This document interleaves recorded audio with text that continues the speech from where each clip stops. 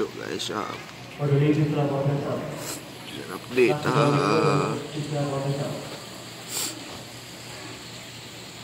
I think my mom's gonna go home now. Uh, it's very tragic. Thank you for everyone. Thank you for all of you na tumulong and uh, you've been praying. But you know what? Sometimes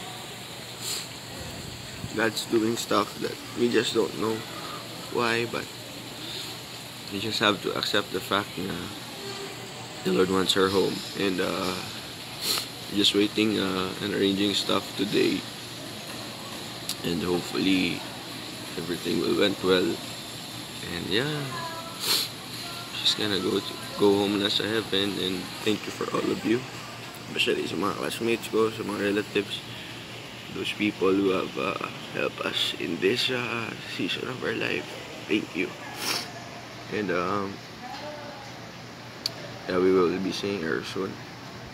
And she has been a great part of our life. Thank you guys.